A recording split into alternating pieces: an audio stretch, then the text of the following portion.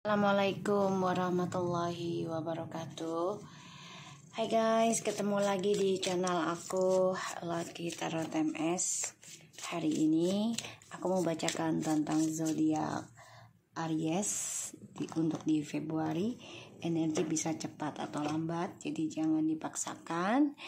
Ya, harus terjadi. Insya Allah ini 90% jadi nyata Dari readingan energi yang aku tebar jangan percaya tarotnya 100% ya guys. Karena ini bukan Tuhan. Ini abang Garfield lagi nemenin aku lagi manja dia. Ya nemenin mami baca. Kita baca doa dulu yuk. Bismillahirrahmanirrahim. Alhamdulillahirrahmanirrahim. Ah ah Ar-Rahmanirrahim. Maliki Yaumiddin. Iya, na'budu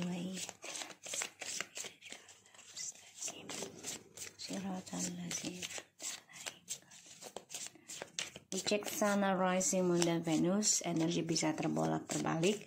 Jadi jangan dipaksakan ini harus kamu atau dia, ini bisa terbolak terbalik. Oke? Okay? Kita langsung lihat Aries di Februari. Six of Wands. Diam ya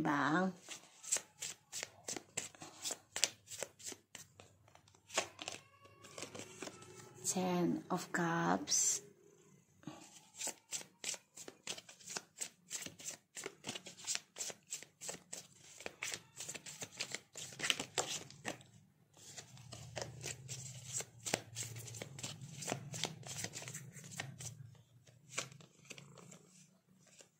The Knight of Wands and the Ten of Wands.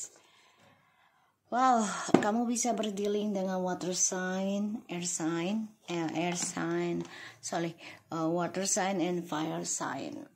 Ya, Aries bisa berdealing dengan fire sign juga atau dengan water sign. Ada six of wands, the ten of cups, the knight of wands, and the ten of wands. The bottom of the deck ada the queen of pentacles and the page of a Pentacles dan ada the full Aries. Oke. Okay. Kalau kamu pengen sukses ya kamu harus nekat ya nekat belajar sabar, nekat belajar fokus dengan satu hal, nekat belajar dari nol lagi. Terutama ya kamu harus berani mengambil resiko dan kamu juga harus bisa antisipasi dirimu sendiri. Apakah itu resikonya berefek negatif atau berefek positif. Dan di sini kamu harus bisa mencari karir yang sesuai dengan potensialnya kamu. Dan kamu juga harus nekat belajar tentang kesabaran. Dan kamu juga sebenarnya ada kesempatan baik asalkan kamu berani ya untuk belajar. Salah satunya adalah setia ya dengan sebuah pasangan ataupun sebuah pekerjaan ya. Dan di sini Aku ngelihatnya Aries di sini harus banyak belajar protek pada dirinya sendiri, terus juga harus bisa belajar menggenggam kebenaran ataupun kejujuran, ya entah itu secara uh, moral ataupun secara logika harus dengan kejujuran. Oke, okay. progres untuk meraih kebahagiaan itu tidak mudah ya terutama ketika kita menginginkan rumah tangga yang bahagia yang sempurna itu nggak mudah seperti ucapan. Kenapa? Ya karena ujiannya akan luar biasa. Dan aku ngeliatnya di sini memang alias harus banyak berjuang bahkan harus uh, berjuang keras tentang mempertahankan kebahagiaan keluarga ataupun kebahagiaan diri sendiri ya harus benar-benar pikirkan langkah hidupnya Aries di sini harus bisa menggenggam sifat narsisnya jangan sampai berlebihan atau sampai membuat kebahagiaan kamu sulit diraih ke depannya. Ayah abang.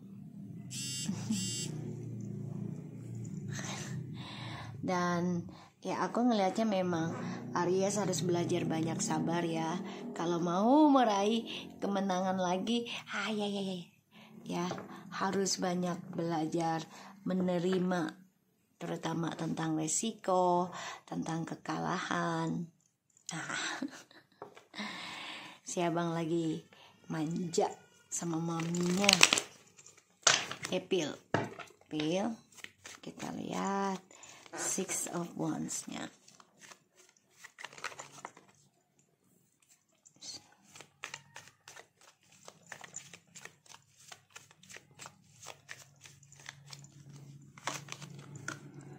page of cups. Two of cups.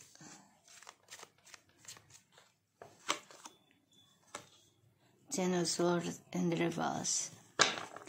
Uh, Aries nih lagi mengenang kemenangan di masa lalu ya. Ini sulit dilupakan sama dia. Kesuksesan yang diraih di masa lalu. Dan di Februari ini Aries diberikan beban berat ya. Jadi harus banyak belajar sabar dalam meraih keinginan dan ujian gitu ya. Dan harus belajar menerima tentang kekalahan, ya tentang uh, ending gitu ya sebuah hubungan. Dan memang belum bisa dilupakan oleh Aries tentang hubungan di masa lalu. Karena Aries itu tipikal sebenarnya yang gagal move on ya. Jadi kalau dibilang move on tuh memang cepat. Tapi ketika dia sudah bosen ini teringat lagi kisah masa lalu. Kalau dibilang bosanan? Ya bisa. Karena dia fire ya api. Api. Api terus angin itu gampang bosanan guys. Ya. Air juga sama. Karena itu kan nggak bisa digenggam ya.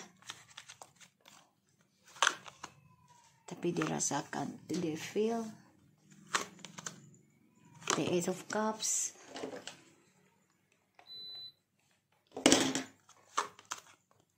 the Temperance. Aries, kamu di sini coba untuk belajar mengimbangi ya tentang perasaan kamu di masa lalu. Terutama tentang kebebasan dan coba untuk healing juga sih dari energi negatif dari masa lalu ya serangan-serangan gaib. Jadi Aries harus banyak belajar bertanggung jawab pada langkah hidupnya dia sendiri. Di sini Aries coba untuk bahagiakan diri ya dengan cara ini ada yang belajar menyembuhkan diri ya dari lingkungan yang gak baik di masa lalu atau sifat yang gak baik di masa lalu oleh Aries atau lingkungan yang gak baik ya. Jadi ujiannya adalah Aries diberikan tanggung jawab yang besar dan kayak kehilangan kehilangan keinginan ya jadi kayak frustasi untuk meraih kebahagiaannya sekarang tuh di Februari tuh banyak banget ujiannya Aries. Dan ini membuat Aries tertekan terbeban. Bahkan juga merasa semuanya udah keblok ya tentang meraih kesuksesan lagi. Makanya Aries harus banyak belajar sabar ya. Harus banyak belajar sabar dari nol lagi dan harus bisa gunakan dengan baik ya. Suatu ide yang dimiliki itu harus dimanfaatkan dengan baik. Dan aku ngelihatnya memang Aries harus banyak belajar menerima tentang kenyataan hidup. Ya kalau memang udah waktunya kalah dan salah ya udah akui gitu dan kalaupun misalnya dia walaupun misalnya Aries merasa benar ya kalau bisa jangan sampai narsis atau merasa berlebihan benarnya agar tidak menjadi sombong ya. Kita lihat lagi. Six of cups. Five of cups seven of pentacles Aries nih mencoba lari dari kisah masa lalu yang sudah ditanam oleh dia sendiri ya oleh Aries. Jadi kayak udah ada harapan sebenarnya di masa lalu dengan orang di masa lalu. Yaitu suatu kehidupan yang bahagia tadinya tujuan. Tapi ternyata banyak sekali godaannya ya di perjalanan untuk meraih kebahagiaan itu. Dan Aries coba untuk bisa belajar imbangi belajar sembuh dari lingkungan yang negatif ataupun sifat negatif yang ada di dirinya Aries. Jadi kayak ganti suasana lingkungan ataupun orang-orangnya. Dan di sini Aries nekat gitu loh. Nekat dalam kisah masa lalu. Coba untuk meninggalkan. Tapi ternyata malah gagal move on ya. Gagal move on. Karena dipaksakan untuk move on. Ya dipaksakan untuk move on. Move onnya itu bukan dengan cara benahin diri tapi dengan cara mencari pasangan orang lain. Ya pasangan baru gitu.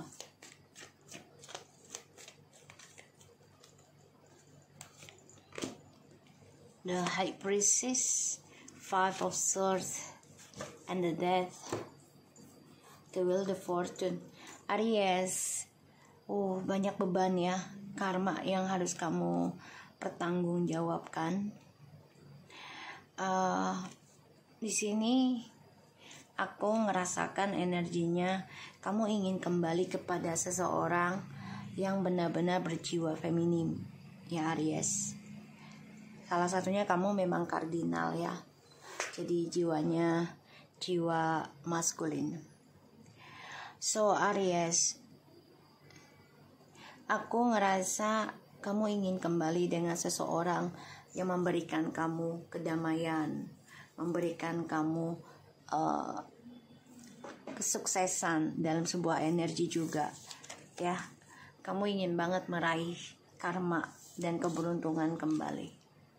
Ini yang kamu inginkan. Tapi memang itu tidak mudah ya, karena di sini the high priestess, the five sword, and the death ya. Dan sini ada ten of wands. So otomatis kamu harus mengendingkan sifat silent treatmentmu dan juga mengendingkan sifat egomu ya. Bahkan juga harus mengendingkan sifat obsesimu ya jadi pertanggungjawabkan apa yang sudah kamu ambil langkah di masa lalu. Kamu harus nikmati kehidupannya. Kalau memang harus bayar karma dulu, ya sudah bayar karma.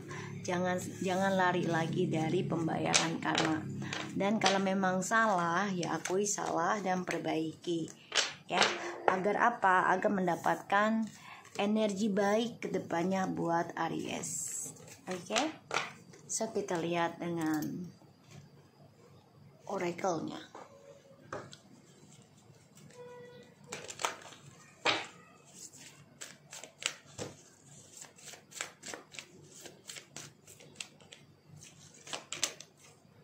Receiving joyful.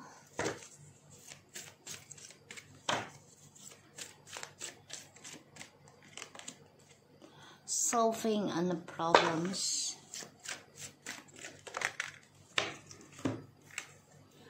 Moving through discomfort. Oke, okay.